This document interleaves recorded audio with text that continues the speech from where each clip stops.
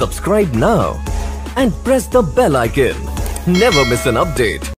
Hi friends Manipal kitchen ಗ್ರಾಹಕರಿಗೆ ಸ್ವಾಗತ. ಇವತ್ತು ನಾನು ನಿಮಗೆ ಜೋಳದ್ದು ಅವಲಕ್ಕಿದು ಉಪ್ಮಾ ಉಪ್ಪಿಟ್ಟು, ಅಂದರೆ ಜೋಳದ ಅವಲಕ್ಕಿ ಒಗ್ಗರಣೆ ಹೇಗೆ ಮಾಡೋದು ಅಂತ ಹೇಳ್ತೀನಿ. ನೋಡಿ, ಜೋಳದ ಫ್ಲೇಕ್ಸ್ ಜೋವಾರ್ ಫ್ಲೇಕ್ಸ್ ತೋರಿಸ್ತಾ ಇದ್ದೀನಿ. ಇದು ತುಂಬ ಒಳ್ಳೆಯದು ಹೆಲ್ತ್ಗೆ ಜೋವಾರ್ ಫ್ಲೇಕ್ಸ್ ಇದೆಯಲ್ಲ, ಇವಾಗ ನಾ ಹೇಗೆ ಮಾಡೋದು ಅಂತ ನೋಡೋಣ. ಒಂದು ನಾಲ್ಕು ಟೀ ಸ್ಪೂನ್ ಎಣ್ಣೆನ ಒಂದು ಪ್ಯಾನ್ಗೆ ಹಾಕ್ಬಿಟ್ಟು ಲೋ ಫ್ಲೇಮ್ ಇಡಿ ಇದು power house of anti accident ಮತ್ತು ಮಿನರಲ್ಸು ವಿಟಮಿನ್ಸು ತುಂಬ ಇದೆ ಇದರಲ್ಲಿ. ಇದು ನಮಗೆ ರೋಗ ಬರಲಿಕ್ಕೆ ಕೂಡ ಬಿಡೋದಿಲ್ಲ ಇದನ್ನು ತಗೊಂಡು ಯಾವಾಗಾದರೂ ನಾವು ಸೇವಿಸ್ತಾ ಇದ್ದರೆ ಅದು ನೋಡಿ, ಸಾಸಿವೆ ಕ್ರ್ಯಾಕಲ್ ಆಯಿತು ಈಗ ಅದಕ್ಕೆ ಒನ್ ಟೀ ಸ್ಪೂನು ಉದ್ದಿನಬೇಳೆ ಹಾಕ್ಕೊಳ್ಳಿ ಅದು ಚಟಪಟ ಅಂತ ಇದೆ, ಇದು ಹುರಿತಾ ಇದೆ ಅನ್ಬೇಕಾದ್ರೆ ಅದಕ್ಕೆ ಅರ್ಧ ಟೀ ಸ್ಪೂನು ಕಡಲೆಬೇಳೆ ಹಾಕ್ಕೊಳ್ಳಿ ಹಾಗೆ ಈ ಒಂದು ಸತಿ ಚೆನ್ನಾಗಿ ಎಲ್ಲನೂ ಒಟ್ಟಿಗೆ ಕೈ ಆಡಿಸ್ಕೊಳ್ಳಿ. ಆಯ್ತಲ್ಲ? ಈಗ ಇದೆಲ್ಲ ಫ್ರೈ ಆಗಿ ಬರುತ್ತೆ, ನಾವು ಬೇರೆದೆಲ್ಲ ಹಾಕ್ಕೊಂಡು ಫ್ರೈ ಮಾಡಬೇಕಾದ್ರೆ ಈಗ ಸ್ವಲ್ಪ ಕ್ಯಾಶು ಪೀಸಸ್ ಅಂದರೆ ಗೋಡಂಬಿ ತುಂಡುಗಳನ್ನ ಹಾಕ್ಕೊಳ್ಳಿ ಅದಕ್ಕೂ ಒಂದು ಸತಿ ಒಂದು ಮಿಕ್ಸ್ ಕೊಡಿ. ಆಯ್ತಲ್ಲ? ಇವಾಗ ನೋಡಿ, ಅದೆಲ್ಲ ಫ್ರೈ ಆಗಿ ಬಂದ್ಬಿಡತ್ತೆ. ಇನ್ನೊಂದು ಒಂದು ನಿಮಿಷದಲ್ಲಿ, ಒಂದು ನಿಮಿಷ ತನಕ ಕೈ ಆಡಿಸ್ಕೊಳ್ಳಿ, ಬಂದ್ಬಿಡತ್ತೆ ಈಗ.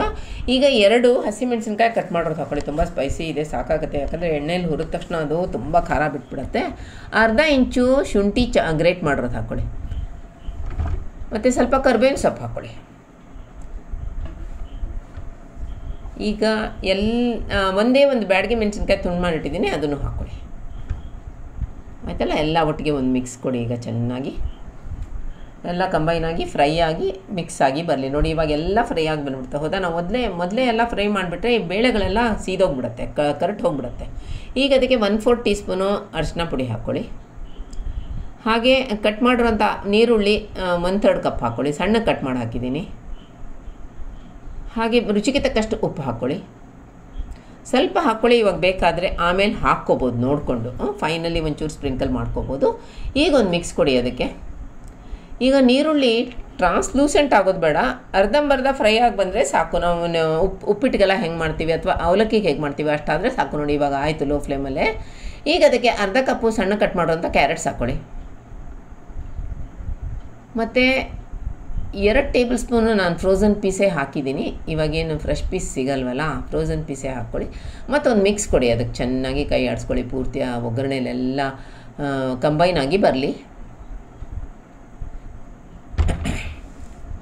ಈಗ ಕವರ್ ಆ್ಯಂಡ್ ಕುಕ್ ಮಾಡಿ ಮೂರು ನಿಮಿಷ ತನಕ ಲೋ ಫ್ಲೇಮಲ್ಲಿ ಮಧ್ಯೆ ಮಧ್ಯೆ ಕೈ ಆಡಿಸ್ಕೋತಾ ಇರಿ. ಯಾಕಂದರೆ ತಳ ಹತ್ತಬಾರ್ದು. ಲೋ ಫ್ಲೇಮಲ್ಲಿ ಮಾಡಿದ್ರೆ ಆ್ಯಕ್ಚುಲಿ ಏನೂ ಆಗೋದಿಲ್ಲ. ಯಾಕಂದರೆ ಅದು ತಳ ದಪ್ಪಗಿದೆ ಆ ಪಾತ್ರೆ ಇದು.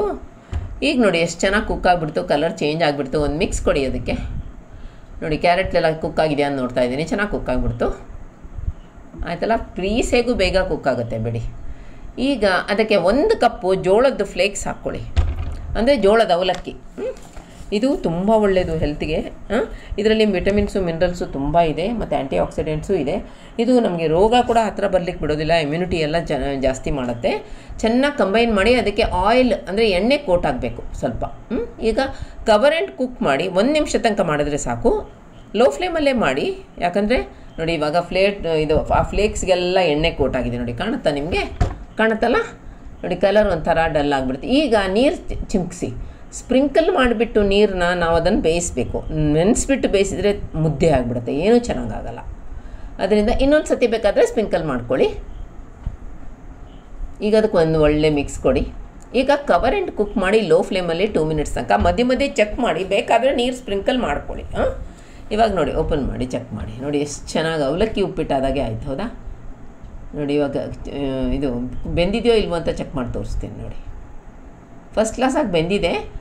ಬಟ್ ಮುದ್ದೆ ಆಗಿಲ್ಲ ನೋಡಿ. ಹೌದಾ? ನಮ್ದು ಅವಲಕ್ಕಿ ಉಪ್ಪಿಟ್ಟು ಹೆಂಗಾಗುತ್ತೆ? ಅವಲಕ್ಕಿ ಒಗ್ಗರಣೆ ಹಾಗೆ ಆಗಿದೆ ನೋಡಿ. ಈಗ ಒನ್ ಒನ್ ಟೇಬಲ್ ಸ್ಪೂನ್ ಅದಕ್ಕೆ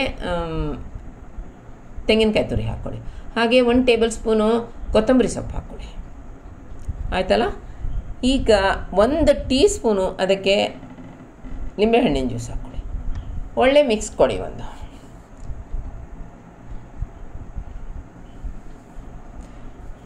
ಆಯ್ತಲ್ಲ? ಈಗ ನಿಮ್ಗೆ ರೆಡಿ ಆಯಿತು. ಯಮ್ಮಿ ಜೋಳದ ಅವಲಕ್ಕಿ ಉಪ್ಪಿಟ್ಟು. ಒಳ್ಳೊಳ್ಳೆ ರೆಸಿಪಿ ಜೊತೆ ಬರ್ತೇನೆ. ನನ್ನ ಚಾನಲ್ಗೆ ದಯಮಾಡಿ ಸಪೋರ್ಟ್ ಮಾಡಿ ಸಬ್ಸ್ಕ್ರೈಬ್ ಮಾಡಿ. ರೆಸಿಪಿ ಡಿಸ್ಕ್ರಿಪ್ಷನ್ ಬಾಕ್ಸಲ್ಲಿರುತ್ತೆ ಬಾಯ್ ಸಿ ಯು ಲೇಟರ್